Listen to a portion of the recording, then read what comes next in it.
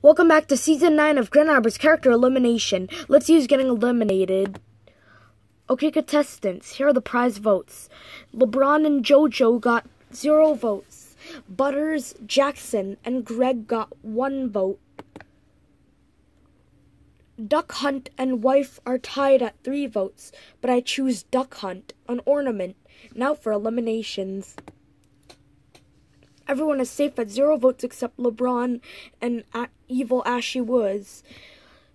LeBron is safe even at one vote, which means Evil Ashy Woods is eliminated at 60 votes. Multiplied by 5, making him eliminated at 300 votes. Whoa. Do you mind if I take a break from this? Okay, wife. We have reached the merge. This means two contestants will join. The two contestants are Elizabeth and Darman. Let's put LeBron, Alberto, Giulia, Sylveon, and Butters up for elimination.